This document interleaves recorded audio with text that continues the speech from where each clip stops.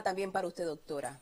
Y este miércoles 7 de abril, a los 67 años de edad, falleció José Manuel Pérez Andino, presidente de la Asociación Cultural Yoruba de Cuba, quien además ocupó responsabilidades en la Asociación Abacua de Cuba, fue practicante de otras religiones de origen africano y también masón. Manolo, como era conocido por todos, fue un líder religioso ecuménico de mucho prestigio y autoridad miembro de la coordinación de la Plataforma Interreligiosa Cubana, que estuvo vinculado a las tareas revolucionarias en su zona de residencia.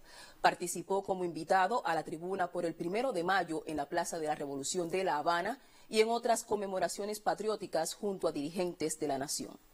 Lleguen las condolencias a los familiares, amigos y miembros de la logia y las instituciones religiosas a las que pertenecía.